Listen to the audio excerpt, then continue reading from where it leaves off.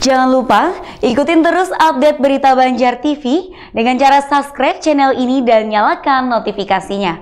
Oh ya, like juga video-videonya, comment and share. Terima kasih.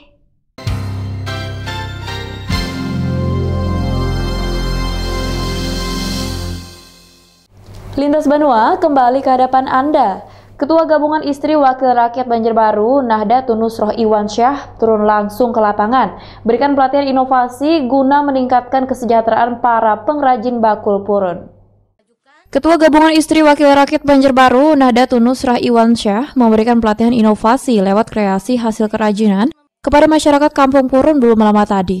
Dengan program ini, ia berharap bisa membantu peningkatan penghasilan para pengrajin melalui ragam kreativitas yang diajarkan gratis. Ya, saya lama sudah artinya uh, tahu Kampung Purun ini kan mereka dari tahun 2016. Saya lihat hasil mereka itu semuanya hampir original nih, seperti contoh-contoh di seperti di sini ya, original. Jadi mereka belum ada variasi. Saya rasanya kok ingin ya di sini uh, harga dari uh, purun ini lebih meningkat, lebih bagus.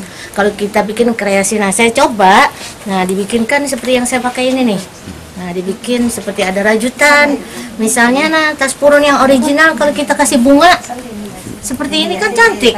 Nah, berbeda dengan yang tanpa ada. Jadi harganya lebih meningkat. Jadi saya berpikir peningkatan uh, income mereka lebih banyak dan hasilnya juga lebih bagus dan kampung purun insya Allah lebih banyak yang berkunjung ke sini.